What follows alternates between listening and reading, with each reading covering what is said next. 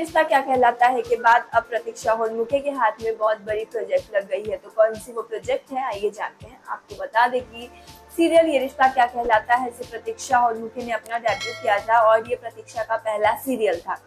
लोगों ने प्रतीक्षा को काफ़ी पसंद भी किया। इनफैक्ट कुछ फैंस तो अभी भी शो में प्रतीक्षा की वापसी का इंतज़ार कर रहे हैं। लेकिन शो से प्रतीक्षा होनमुखिया और शहजादा धामी दोनों को अनप्रोफेशनल बिहेवियर साथ में दोनों का अफेयर को लेके शो से बाहर निकाल दिया गया था, ऐसा ही खबर आई थी।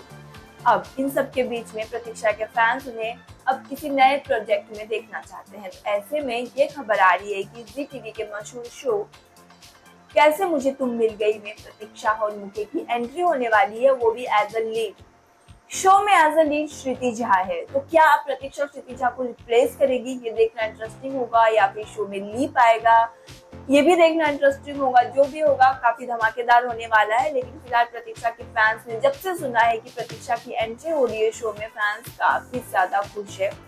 और हालाँकि ये सब जो है, वो कंफर्म है या नहीं, इसका कोई भी अपडेट नहीं आया है। ना तो प्रतीक्षा ने इस सब बात को लेकर कुछ रिएक्ट किया है, ना ही चैनल वाले जो भी होगा हमें धीरे धीरे पता चल जाएगा और सारी अपडेट मैं आप तक शेयर करूँगी। लेकिन फ़िलहाल प्रतीक्षा हॉर्मुके को दूसरा प्रोजेक्ट मिल रहा है। इस पे आप क्या कहना चाहेंगे? कॉमेंट में ज़रूर बताएँ और भी अपडेट के लिए सब्सक्राइब करें गपशप शब्दों